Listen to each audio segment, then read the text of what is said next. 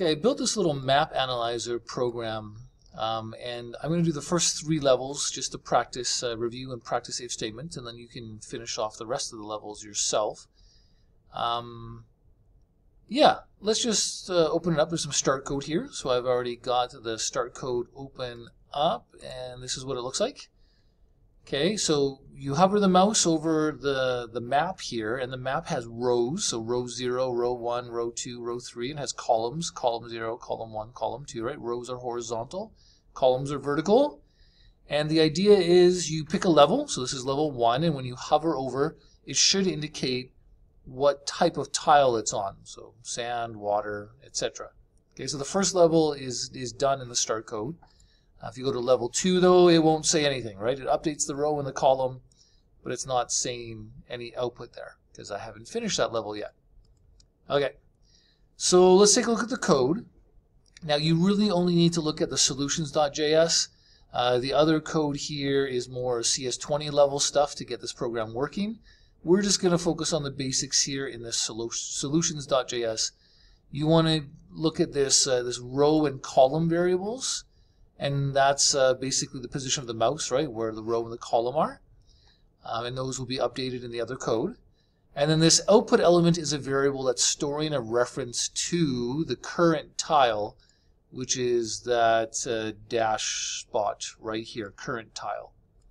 Okay, we update the row and the column and the current tile.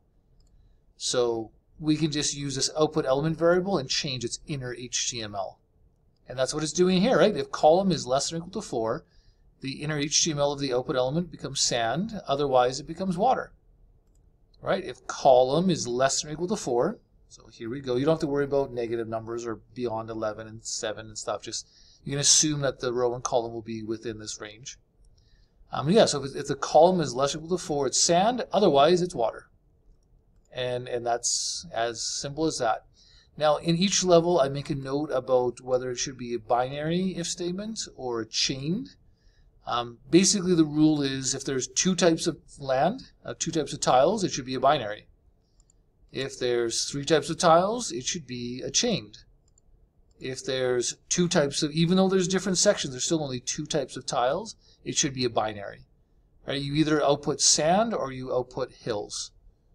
Whereas here we need to output hills, sand, or water. So it's going to be a, a chained selection statement, right? So binary two, um, three or more would be chained. And there's no unary ones. Okay. So let's just do the next level two. So if we look at level two, what do we need to do? We need to do a chain. It's going to be hills, sand, or water. And when it's kind of in a row like this, I want to analyze my columns. I want to say, well, if my columns are less than or equal to 2, it's hills.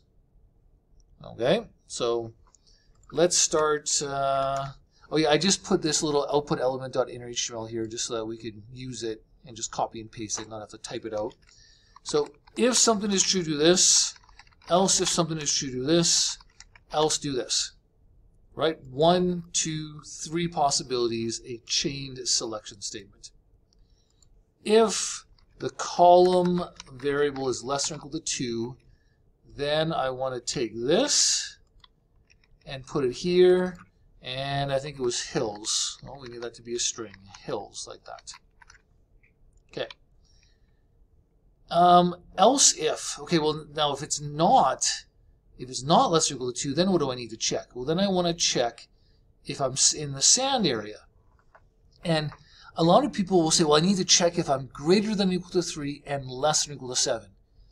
But because we're doing a chain selection statement, we've already checked if we're less than or equal to 2. And we're only going to get to this else if that's false. So we know that the column is not less than or equal to 2, so it must be 3 or higher. So we don't need to check if we're greater than 3. We just need to check if we're less than or equal to 7. Okay, so that's kind of a nice little, it wouldn't be wrong to do it the other way, it would just be less efficient. Um, and if it's less than or equal to 7, we'll copy and paste this. And this should be sand. And then the final one, we don't need to check anything. If it's not hills and it's not sand, it must be water. That's the last possible option.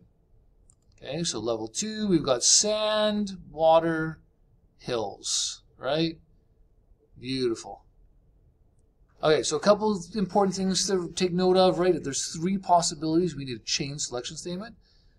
Um, and then it's easiest just to go from one end. Am I less than 2? If I'm not, am I less than 7? If I'm not, am I less than 11? Now we could have done it the other way as, uh, other way as, as well. We could have said, am I greater than or equal to 8? Is that right? Yeah, greater than, greater than or equal to 8 would be water. If that's not true, then I want to check if I'm greater than, greater than or equal to 3. So is column greater than or equal to 3, then it's sand, else it must be hills. So you can start from the top or the bottom as long as you're being consistent. Am I greater than this? If that's not true, am I greater than this? If that's not true, it must be here. Am I less than this? If that's not true, am I less than this? Else it must be here. Okay, as long as you're consistent doing it the same way. Um, all right, cool. Let's do level three. We should look at it first. Okay, so level three, I'm going to show you the wrong solution first because my initial thought is I could just copy and paste because it looks very similar, doesn't it? The only thing I need to change is there's no water. So if I'm greater than or equal to 8, it's hills. If I'm greater than or equal to 3, it's sand, else it must be hills. And this will work. But I would mark you wrong if you did it this way. Because there's only two types of tiles, it should be a binary. And we don't need the chain, right? We're duplicating this code here, right? Which is not efficient, the hills. We're duplicating that code. So, there's, I'm, I'm going to show you two ways to do this. Either way would be acceptable. You could check for sand first, which would be like a between type scenario, right? Am I, are my columns between 3 and 7? Let's do that first. So I'm just going to delete this here. I'll oh, be careful. I deleted that function bracket. we got to make sure we have that. So if, and then my else is a binary, right? Just going to copy, oops, I'm going to copy this into here for the hills and here for sand. So for between, I want to be between 3 and 7 inclusive. So if column is greater than, greater than or equal to 3 and column is less than or equal to 7, then it's sand. Otherwise, right, if I'm between here, it's sand. Otherwise, it's hills. Right, binary. I'm either in the middle or I'm not. And that works. Now we could also check the outsides, right? We could use an or here. We could say the column is less than or equal to 2 or column is greater than or equal to 8. And if that's true, I'm on the outsides and I'm hills. And if that's not true, I must be in the middle and I'm in the sand. Okay, so I'm on this end or I'm on this end. Right, I'm on, oops, I'm on this end or I'm on this end. And if I'm not, I'm in the sand. Okay, so that's the first three levels for you. Levels 4, 5, um, and 6 are all very similar to the ones I just did, just using the rows instead of the columns. So those should be pretty easy for you. And then level 7 gets looks easy, but you got to be careful. Level 8, it's interesting. Level 10, oh, four things. Level 9 I missed. Oh, checking kind of multiple areas. Did I do that one already? Oh, kind of like quadrants, different areas up and below. So they get a little more complex as you go. This is just a binary, right? Sand or water. But you got to check different regions. In here, are you in the center or not? And here, kind of same thing. Are you in here? Are you in here? Or are you in the sand? Okay, so I kind of ended up uh, combining these two videos here. You know what? I'm just going to combine these into one in the document. And uh, yeah, you guys can do this practice assignment now, do the rest of the levels. And uh, yeah, just like I said, make sure your solution uses binary or chained as indicated.